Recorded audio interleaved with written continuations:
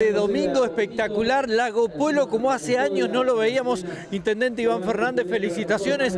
Un festival del alfajor patagónico impresionante. Bueno, la verdad que nuevamente superó nuestras expectativas, así como en su momento el festival de la, fiesta de la cerveza artesanal, la fiesta, perdón, la fiesta de la cerveza del bosque, este, también nos superó nuestras expectativas. Así que bueno, muy contento. La verdad, eh, los protagonistas son ellos, sinceramente, tanto este, Sebastián, este, como Ailén, bueno, como todo el equipo de gobierno y también los empleados que hacen que esto sea posible. Nosotros únicamente tomamos la decisión de, hacerlo, pero realmente los que trabajan y se merecen todo este reconocimiento son ellos. Bueno, pero tiene que haber una fuerte decisión política de volver a darle la alegría que el pueblo necesitaba. Y aquí hay gente de Radatili, de Rawson, de Trelew, del, Alto Valle Río Negrino, esto es un éxito. Bueno, la verdad que recibimos primero la ocupación de este fin de semana, es casi un 90%, así que estamos muy contentos. Y la realidad también es que, bueno, eh, han habido este, representantes de diferentes ciudades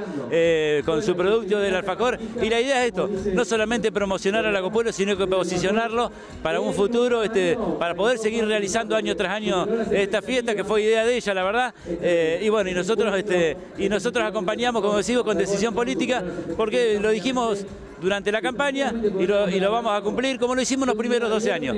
Sabemos que el turismo tiene que ser el eje de la economía el local, tanto el turismo como la producción, y bueno, y estamos apuntando a eso nuevamente. Ailén, el Festival del Alfajor Patagónico, ¿llegó para quedarse? Sí, totalmente, la verdad que como dijo Iván, superó nuestras expectativas, eso que surgió como una idea, ver toda esta gente, para nosotros la verdad que estamos súper contentos, y para hacer la primera edición, la verdad que estamos felices, apostamos, apostamos a que las próximas ediciones sean mucho, mucho más grandes, pero bueno, para el tiempo que tuvimos, la verdad el alcance que tuvimos a nivel nacional nos han llegado muestras desde Chaco, uno de los ganadores era de Chipoleti y Neuquén, así que la verdad que súper felices. Bueno, contanos un poquito, llega el super alfajor gigante, ¿cuántos kilos pesa? Sí, está en camino, la verdad que bueno, es fue un trabajo de logística súper complejo, pero bueno, se pudo, pesa 66 kilos y bueno, la verdad que el armado y todo eso fue complejo, pero se pudo hacer. Y el año que viene va a ser más grande.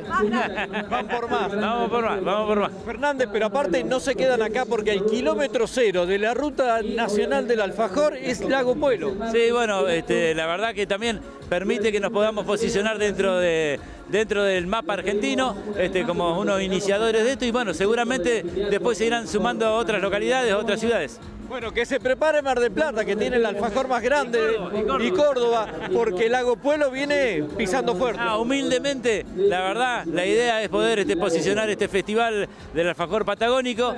Por supuesto que no vamos a poder salir a competir, ni no es la idea tampoco competir ni con Mar del Plata ni con Córdoba, pero bueno, que la Patagonia también tenga su alfajor este, y, tenga su producto. Gracias, felicitaciones. gracias a vos. La palabra del intendente del Lago Pueblo.